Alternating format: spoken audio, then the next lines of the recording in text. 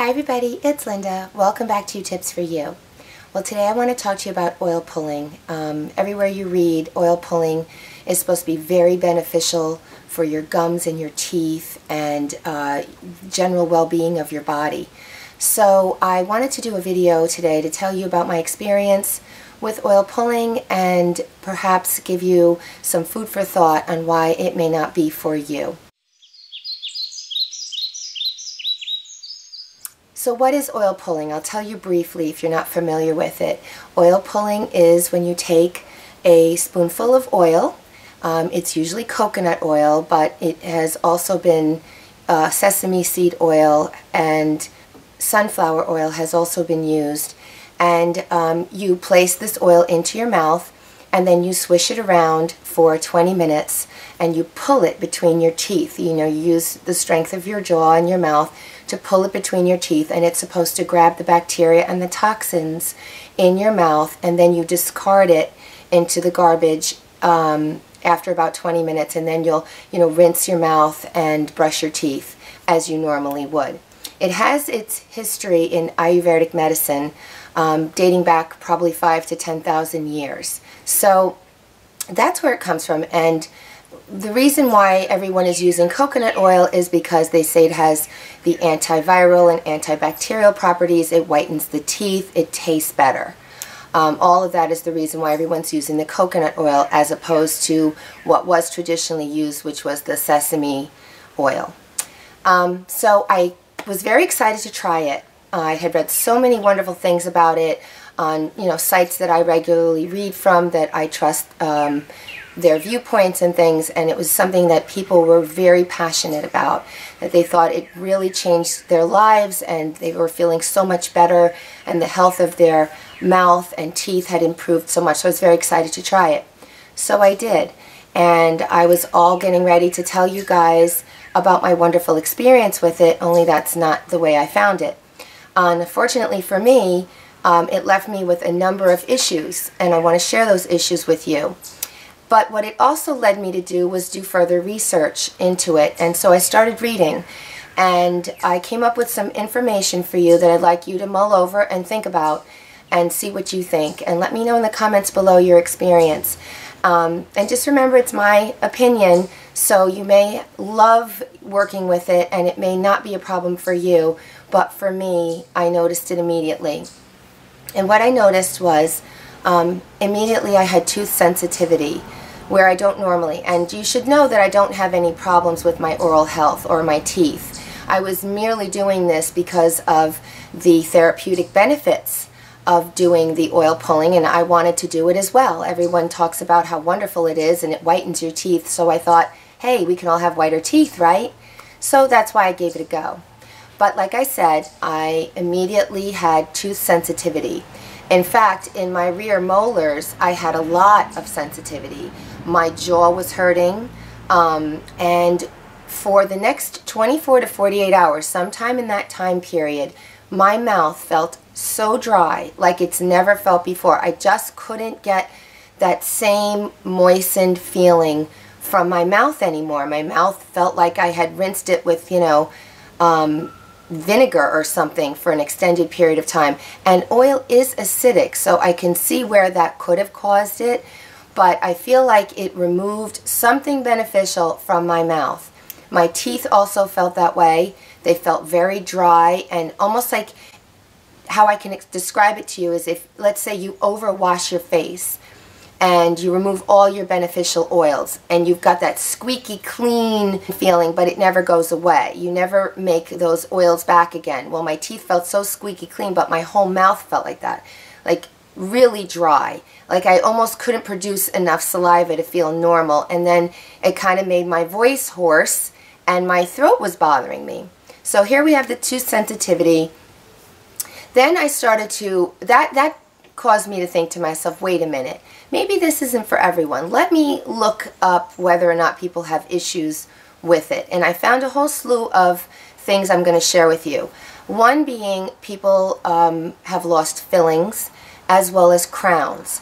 And that makes a lot of sense to me. Um, we've all had dental repairs. Maybe the few of us who haven't won't experience any problems. But for those of us that have fillings or crowns or caps, and I don't have crowns or caps, but I do have fillings, there were people who have had bad experiences. They started oil pulling and within a week or two had lost, had their crown fell out, their filling fell out.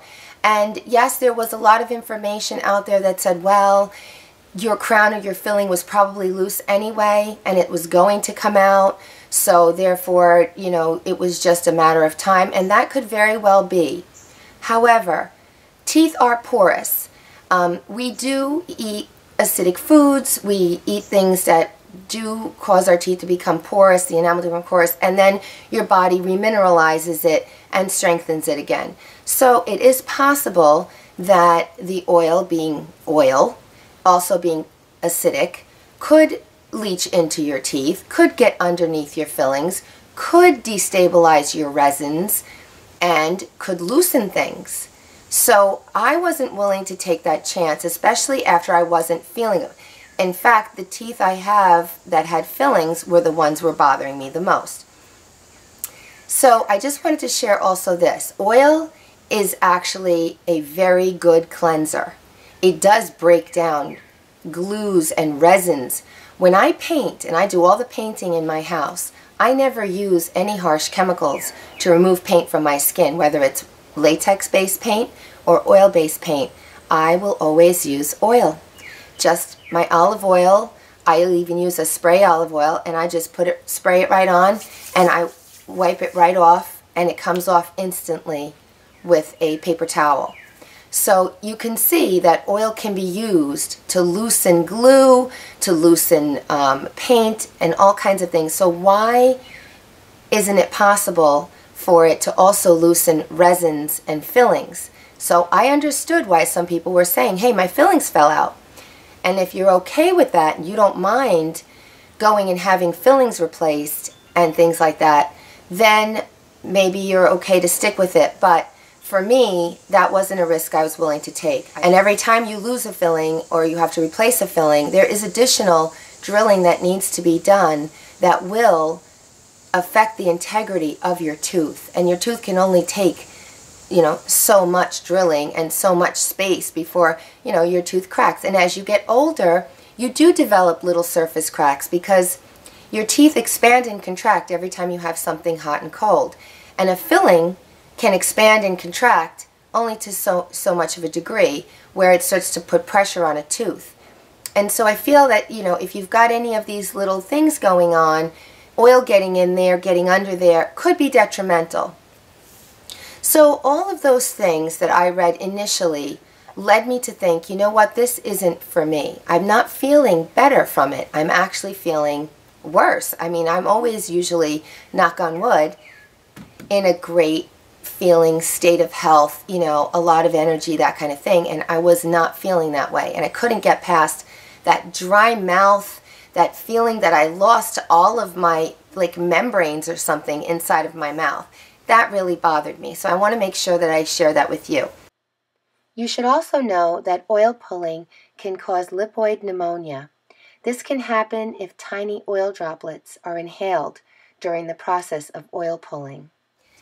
But my further reading led me into an understanding of what I feel is the real root issue here. And that is that oil pulling is based in Ayurvedic medicine. And that is a very complex doctrine of medical principles that we in our country are not really familiar with. We are, um, Western medicine as it is, is always kind of chasing a symptom. Like you have a problem, you know, do this and it'll go away. Whereas Ayurvedic medicine looks at the whole body. It's a mind, body, spirit way of looking at a human being. That each person is an individual. And that when you look at the roots of when they prescribe certain things, it's done with a within a context of looking at that person very closely and understanding what's going on in their lives, in their spirit. In fact, according to their principles, they don't treat two people with the same ailment the same. It's very individualized. They, they look for the root cause of something more than they just look to deal with a symptom, which I think is wonderful. Um, so when someone's complaining of teeth problems or gum problems, for example, they'll look more to the health of the person. What's going on in the body? What's going on in the diet? Teeth are just simply an extension of their bones in your body, and there's muscles in your gums, and and they're going to be under the same stress as every other part of your body. So if you have illnesses like diabetes or, you know, to just to pick a few, or you've got like digestive problems or anything like that, you know, that's going to affect how you metabolize foods and how your body processes things that you eat and makes minerals and makes blood. And all of that is going to affect your teeth just like it affects every part of your body. So, in my reading, I discovered that the treatment of oil pulling is not just done like we do it, it is part of an entire process that has spiritual uh, roots in nature. And without that, you cannot get the benefit. First of all, they don't even use coconut oil. And India, where this has where Ayurvedic medicine originates, have plenty of coconuts. They have plenty of coconuts there. And yet this single thing that we're pulling out of their doctrine does not use coconut or coconut oil. And they have it in plenty in India. They use sesame oil. They can also use warm water when it's appropriate. The oil is supposed to be sour, acidic, bitter, or salty for what they use it for. Um, and coconut oil is sweet, so it's not even the right thing. And oil pulling is not done by everyone. It's individualized and done in a special way by those who need it. What without doing it properly, without respecting uh, where its origins are coming from and the way it is employed into their medical system and how it is treated, I think it can do more harm than good. And I'm not surprised it didn't work for me because I am not educated in the science of Ayurveda. I have I would need a, a person who has gone to school for this. There is not something simple. I mean, they go to school to learn Ayurvedic medicine. I think whenever you see something that's targeted to the masses, you have to ask yourself, wait a minute, is this right for me? We do this with all kinds of drugs in our society. I mean, just look at the cholesterol drugs. They've got everybody taking cholesterol drugs. Um, but cholesterol is a, a, very important, you know, they call it a fat, but it, it does so many things in the body. And I think it's something, you know, that with a, with a, with a paintbrush, they think everybody needs a statin. So this is the same kind of thing. Everybody getting on the, but they're not fully understanding how it's beneficial to someone and it's beneficial through a very individual way with a certain practice that's done at a certain time of the day um, with, with a certain ritual. And there are important things that need to be respected in order to get the benefits of oil pulling. And, and you know, they talk about getting, most people are doing it because they also, they want to get rid of the bacteria in their mouth because the oil pulls the bacteria out. They also want white teeth, which is, you know, part of the reason I was doing it. But anytime you put an oil, any oil in your mouth, and you keep swishing it around, swishing it around, it saponifies and that becomes a detergent. So you're really just, you know, using a detergent really in your mouth and cleaning it. That's why you can have a whitened teeth. I didn't notice uh, any teeth whitening for me, but I didn't A, do it long enough and to see any results like that because I felt for me, um, and I'm in touch with myself that way, I felt it wasn't for me. You're probably wondering, am I going to try the sesame oil? And I'm not.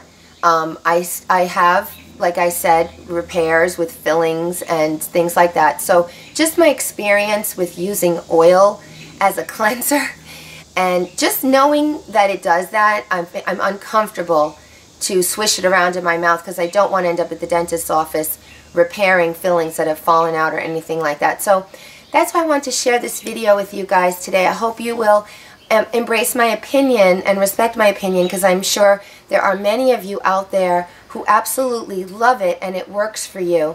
But one of the things that I did read is that unfortunately many people who do experience side effects from using it may not know what that the side effects that they're experiencing are from the coconut oil because it's it'll it'll be an imbalance of different things in the body. You may, for example, end up with a sinus infection or a respiratory infection or something could be off you're getting headaches or whatever.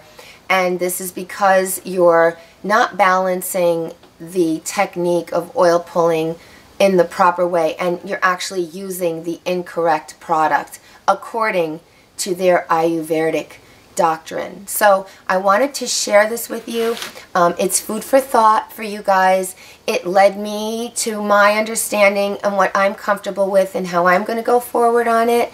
I'm disappointed um, that it wasn't the be-all to end-all, which I thought it was going to be. I thought I was going to share a different type of video with you where I embraced it and loved it and could recommend it. Um, but that wasn't the case and I'm going to be honest about it. I really hope you found this video helpful and please subscribe because I have a lot more to come, something of interest to everyone. And please don't forget to click that little bell icon because then you'll be notified when I upload a new video. And please visit my blogspot where I do a lot of writing and I'm also on Facebook and Twitter um, so we can stay connected there as well. So I want to thank you all so much for your continued viewership. I love you all and I love all your support. So take care and have a wonderful, wonderful day. Bye-bye now.